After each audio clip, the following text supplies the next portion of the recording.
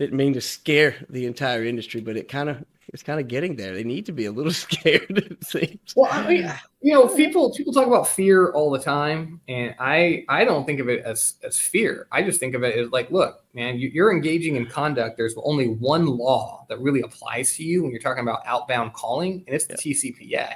It's just like anything else. You're an insurance yeah, broker. You know, you, like insurance requirements, the law of insurance applies to you. So like, you're not afraid of that. You just know you have to comply with it, right? It's the same thing with with the telemarketing laws. Like something to be afraid of. It's just you have to understand this is the law and you have to follow it just like any other law. Uh, and then once you're empowered and you're educated and you know about it, it's actually not that big of a deal. Um, you know, True. it's not as if it can't be complied with.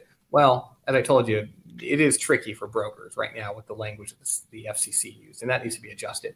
But outside of that issue, you know, once you understand the rules, you you can comply, assuming you've got the right partners. And that's the issue, right. you know, that you started with and that we'll end with is the real issue is the divide between the lead buyers who need to be educated and buy only valid leads and the lead sellers who are not incentivized under the new rule to really obey the right. rule. They, sure. They're incentivized to sell as much as they can still and basically trick lead buyers into buying garbage. Um, and and that's why the Reach membership again, which is so invaluable, because Reach members, you know, are held to the highest standards uh, as lead sellers, uh, and so you don't have to be as worried when you're buying a, a lead from a Reach uh, a Reach member. Uh, so it's really something to think about. That's that's very good, and and I personally gonna will, will promote that as well. You know, I came into this industry, like I said, from from a I was corporate finance. Stepping into personal finance was a, a transition within itself, but uh, I didn't come in thinking I'd get involved in trying to clean up some of the you know the malfeasance here we'll call it. Um but and i'm still don't see like i really am and like i haven't tasked myself in cleaning up the industry in any way but i i guess i would look at it like i'm trying to do my part by offering programs that are better and are compliant and ethical especially uh, that doesn't create those issues so that maybe that's my way of helping and contributing to the cleanup. Just final words out to to agents, IMO, and carriers, and, and of course the lead as well. Your final words, if you were going to throw out your ending here to to to warn them properly, uh, what what would you say to to the groups? I just understand the law has changed. You've got to educate yourself. You've got that responsibility. There is no, you know, not knowing the law is not a defense. And you work too hard to create your business to see everything go down the drain because of a phone call, right? Just do it the right way. That's it. Simple as that. That's awesome stuff.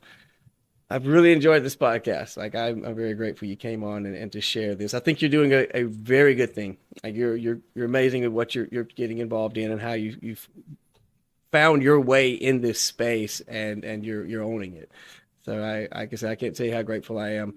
And as these things develop, you're you're welcome to come back on and we'll we'll keep some updates for the for the especially the insurance industry is where I'm providing most information, uh, lead generation as well. Um, but yeah, if you're willing to come on and let's keep people updated as the as it develops, uh, you're absolutely welcome to come on. Let's do that. and Continue.